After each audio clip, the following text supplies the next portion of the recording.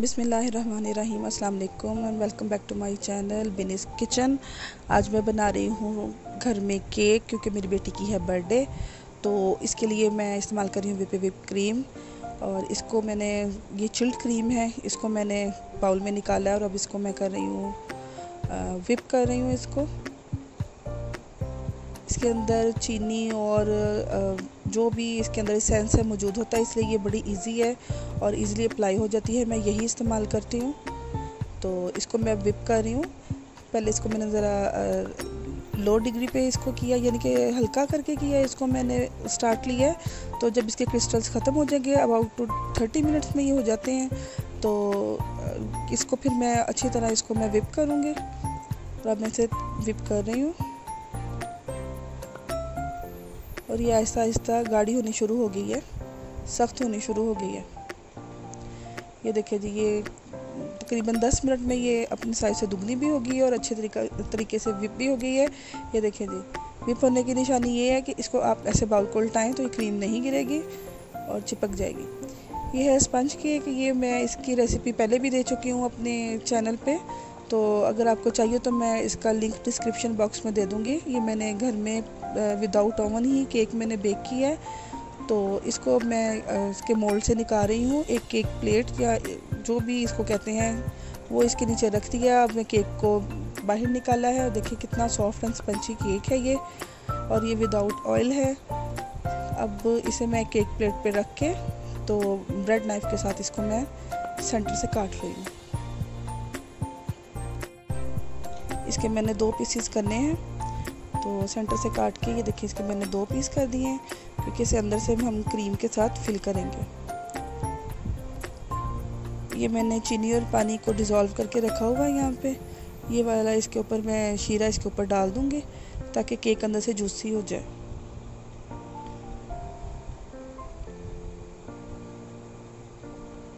अब ये एक स्पैचुला कह लें या क्रीम नाइफ कह लें, इसको इसके साथ मैं अभी जो विप क्रीम है, ये मैं अपने केक के ऊपर स्प्रेड करूँगी। कि ये इनसाइड है तो इसको मैं इतना ज़्यादा नीट एंड क्लीन नहीं करूँगी। बस इसको स्प्रेड करूँगी अच्छे से। एक मुनासिब सी लेयर है।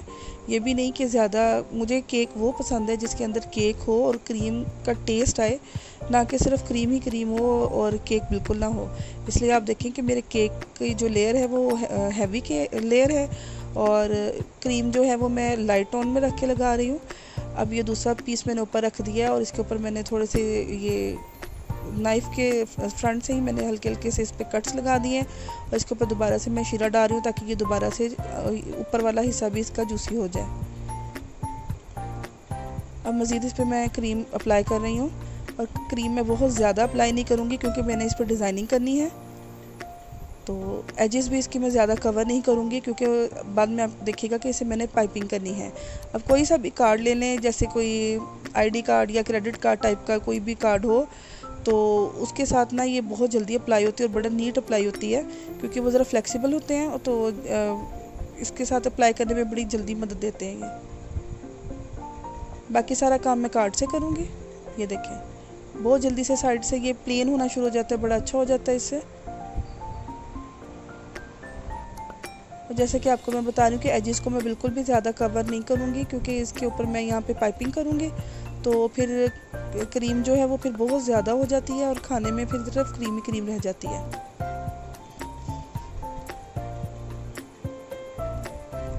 अक्सर बेकरीज भी आपने देखा होगा कि केक की लेयर कम होती है और क्रीम ही इतनी हार्ड और इतनी वो होती है, दूर से लगता है केक न जाने कितना ज़्यादा प्यारा है, लेकिन जब खाएँ तो लगता है सारी वो झागी झाग मुँह में आ रही होती है।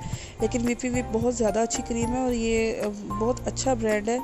हमारे यहाँ फैसलाबाद में एक एक ही जगह से मुझे पता है जहाँ से मिलती है। तो बाकी मुझे पता नहीं है कि ये कहाँ से मिलती है और अगर फैसलाबाद में कोई देख रहा है और किसी को पता है कि ये कहाँ से मिलती है तो प्लीज़ मुझे बताएँ। मुझे ज़रा घर से दूर जाके ये लेनी पड़ती है। अब ये नोज़ल है मेरे पास, ये स्टा, स्टार नोज़ल है आई थिंक सो अब मुझे ये नहीं पता कौन सी। इसको मैंने एक पाइपिंग बैग में लगाया है और ग्लास में मैंने उसको फ़िक्स किया है और अब इसके अंदर मैं डाल रही हूँ क्रीम। और अब ये नोज़ल के साइज़ लेके इसको मैं फ्रंट से पाइपिंग बैग को काट लूँगी, लेकिन नहीं, अभी भी ज़रूरत है तो मैं दोबारा काटूँगी और ये देखें। अब इसके, यहाँ पे मैं एजेस तैयार करूँगी इसके।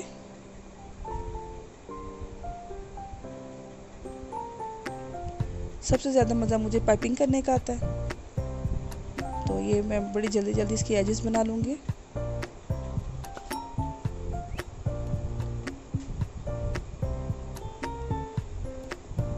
देखने में ये बहुत लगता है लंबा काम है और बड़ा मुश्किल है। हाँ ये लंबा तो है लेकिन इतना ज़्यादा मुश्किल नहीं है।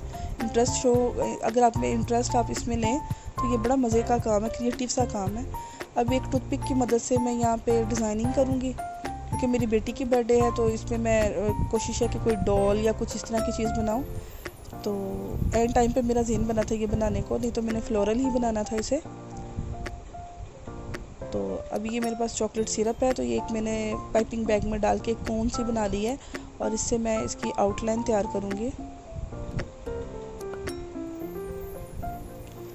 मैं इसकी आउटलाइन बना रही हूँ, ये इसका फ्रॉक है और ये बाजू और ये बाल, ये देखिए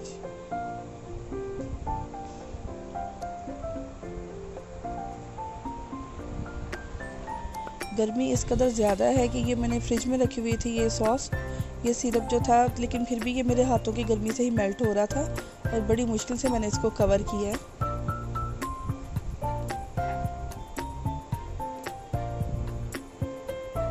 अब ये जो मैंने पहले ही, जो पाइपिंग बैग में वाइट कलर की क्रीम डाली थी उसमें मैं पिंक कलर मिला के हाथों की मदद से ही तो इसके फ्रॉक का मैं लोअर पोर्शन तैयार कर रही हूँ। ये स्टार नोज़ल है।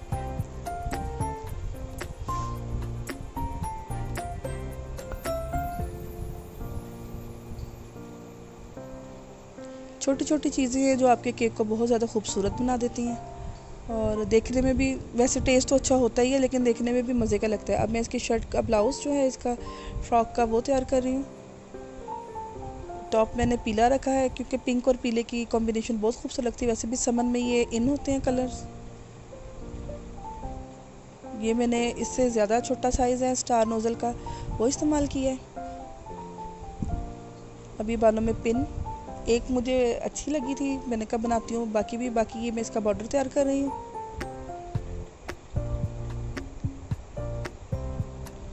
ये दूसरी और ये तीसरी ये मैंने तीन फूल बना दिए इसके सर पे और अब मैं इसकी साइडों को आ, कर रही हूँ कवर रहने को वैसे भी अच्छे लगते लेकिन मुझे दिल था कि थोड़ा सा फैंसी सा हो केक तो मेरी बेटी तो बहुत खुश है और सारे घर वालों को भी बड़ा पसंद आया।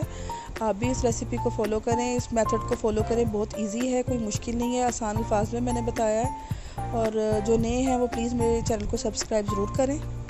तो ये अब इसकी मैं बेल्ट बना रही हूँ फ्रॉक की। और ये मैं उसी टूथपिक के साथ इस पर हैप्पी बर्थडे हिवा लिख रही हूँ। लेकिन मेरे साथ एक मिस हैपनिंग हो गई थी कि ये जो मेरा चॉकलेट सिरप था वो इतना लिक्विड हो गया था कि जब लिखने में आए तो ठीक था।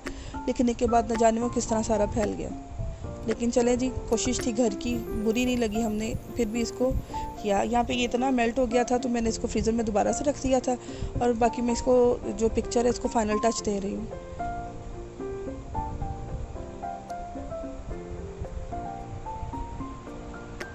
ये एक एक फ्लावर में बना रही हूँ यहाँ पे, ताकि इसका बॉर्डर ज़्यादा प्यारा लगे।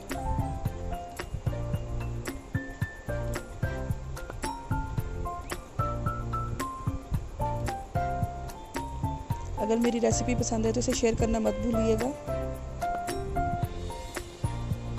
दोबारा से मैं कोशिश कर रही हूँ कि लिखा जाए, लिखा तो गया, लेकिन ये बहुत ज़्यादा लिक्विडी था। तो बड़ी मुश्किल से मैंने इसको हैंडल किया और जहाँ से उठाती थी, वहीं पे एक लंबी लाइन बन जाती थी। फिर भी बहरहाल मैंने लिख दिया, जैसा भी लिख सकती थी। और ये है जी फाइनल लुक मेरे केक की।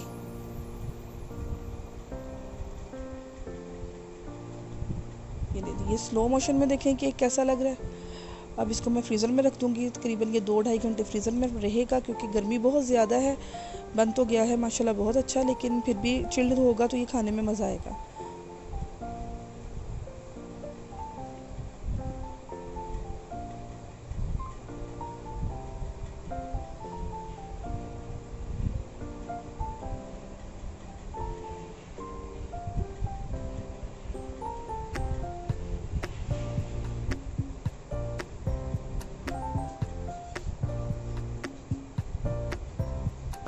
ये दो घंटे हो चुके हैं और ये हिबाब अपनी दादों के पास जाके, अपने अम्मी जान, अबू जान के पास, यानी ददियाल में जाके हम लोग बर्थडे उधर ही सेलिब्रेट करते हैं। ये केक हम उधर ले गए हैं। तो ये हिबाब उधर जाके केक काट रही है। तो ये इसके लास्ट जो हैं सीन्स हैं, और इसके कज़न सारे बड़े खुश हैं केक देखकर। तो मिलते हैं किसी अगली रेसिपी पर। तो फिर अपना ख्याल रखिएगा। अल्लाह हाफिज़।